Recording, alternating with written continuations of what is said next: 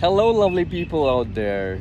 It's a lovely, beautiful morning, and I'm reminded today of how a routine is important for everybody in life to be productive in your day, in your week, months, and hence your life.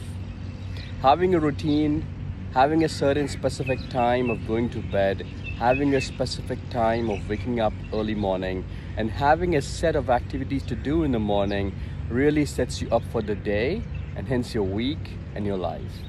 I've never seen any successful person who does not have a routine for himself. Everybody who has been successful on the personal and the professional front always has a routine.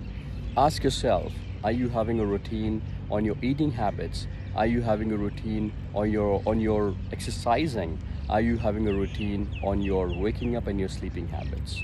And if you have these things in control, you pretty much are on a routine, which essentially becomes one of the reasons why and how you can actually lead a successful life.